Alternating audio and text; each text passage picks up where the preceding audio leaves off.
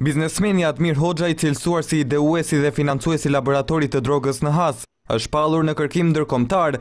Bashkë me të në kërkim ndërkombëtar janë shpallur edhe shtetasit turq, Iskender Sale e Neshdet Xhesurollu, si dhe kosovari Xhemal Sala. Burime nga policia bëjnë të ditur se këta persona janë larguar nga Shqipëria vetëm pak ditë para se autoritetet shqiptare Të nisnin operacionin për laboratorin e drogave të forta në fshatin Brenog. Gjithashtu bëhet e ditur se policia kishte siguruar informacione se personat kryesorë të ngritjes së laboratorit ndodheshin jashtë territorit shqiptar, por kanë kryer operacionin Volvo katër nga frika e një dekonspirimi të mundshëm.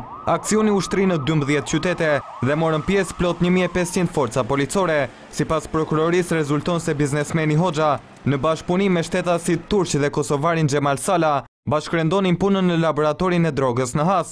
Deri tani për laboratorin e drogave të forta janë arrestuar pesë persona, nga të cilët tre u lanë në arrest me burg nga Gjykata e Kukësit, ndërsa për të tjerët u vendos detyrim paraqitje dhe arrest shtëpie.